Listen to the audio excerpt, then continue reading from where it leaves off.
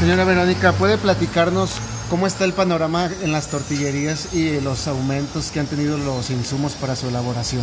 Sí, son varios los insumos que ocupamos, principalmente el maíz, gas, agua, también este, en qué empaquetar. No hay cosa que no haya subido ya. Eh, el maíz sube y sube el gas, que es lo principal que nos encarece el costo de, nuestro producto. Veces ah, el gobierno de repente nos quiere dar apoyos, pero nomás nos lo platica. No hay nada en realidad. y, desgraciadamente pues el que viene pagando en últimas consecuencias son todos nuestros clientes, todas las personas que es un producto de primera necesidad y al, subir de precio pues sí les afecta.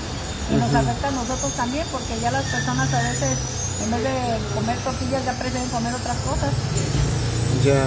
Desgraciadamente cambia hasta los estilos de vida. Cambia hasta la forma de alimentación. De alimentación, así es. Ajá. 22 pesos el kilo. ¿Cuánto tiempo lleva así? Vamos más o menos un año. Un año. Sí, un año y mientras no suba el maíz o no suba el gas de nuevo, podemos seguirlo manteniendo. Pero al subir, sobre todo esos dos primeros productos, este, si suben no, no se puede mantener el precio. Porque algunos otros que, que, que también se utilizan para para terminar el producto y para hacer la venta, como es la bolsa, el papel de envoltura, esos siguen subiendo, la bolsa sigue subiendo. De costar 50 pesos, ahorita cuesta 70 el kilo de bolsa. El papel de envoltura, como no se produce aquí en México, es canadiense, viene de, importación. De, conseguirse a 400 pesos la pata de papel, ahorita ya ven 700 pesos. Entonces, y nosotros no podemos aumentarlo en el kilo de tortilla, no podemos decirle ahora cuesta 22 con 10 por decir. Entonces si nos afecta.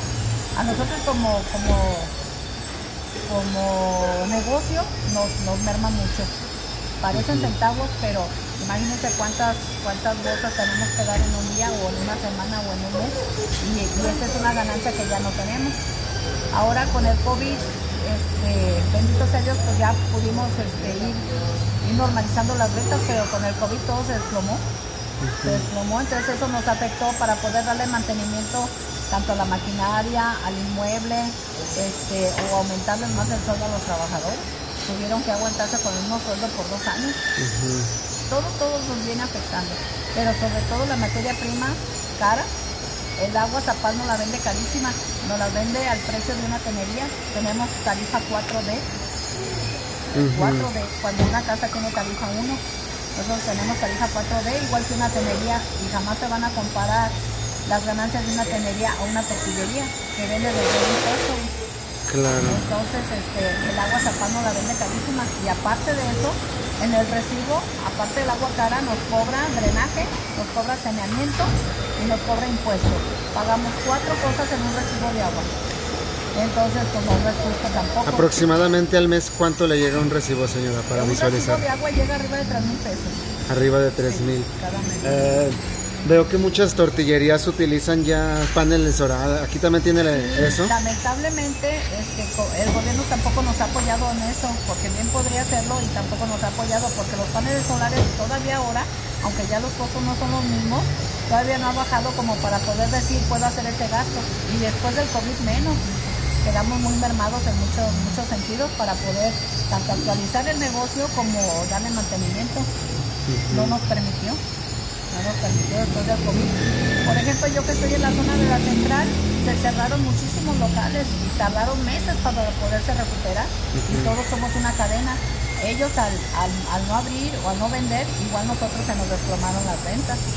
Entonces todo eso nos ha afectado mucho, duramos casi dos años con la pandemia y este es el año en el que nos hemos ido recuperando poco a poco. Apenas van despegando. Apenas vamos despegando parecido como estábamos.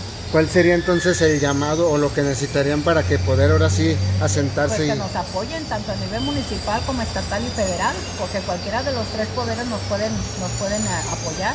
Sin embargo, en el COVID no lo hicieron, después de COVID tampoco, y alguna que otra vez en tiempos de elecciones lo que llegan a hacer es que el recibo de la luz nos llega un, poquito más, más abajo o baja un poquito el gas. Es todo lo que hacen. Pero directamente, y eso lo hacen por un mes, dos, tres máximo, pero no, casi nunca llega a, a tres meses. Lo hacen por un mes o dos, nada más en tiempos de elección. Eso es lo que hemos notado, porque tan solo el recibo de la luz a nosotros nos llega de 12 mil pesos. Entonces, no, nosotros vendemos desde un peso, cinco pesos, un kilo de tortillas 22 pesos y, y los recibos nos llegan de, de miles. Entonces nunca se va a comparar. Muy bien. Señora Verónica, pues le agradezco sus palabras. Eh, ¿Tiene algún nombre la tortillería? Tortillería Vero. Tortillería Vero, perfecto. René Mireles, esquina con Sánchez, Colonia Cuesta.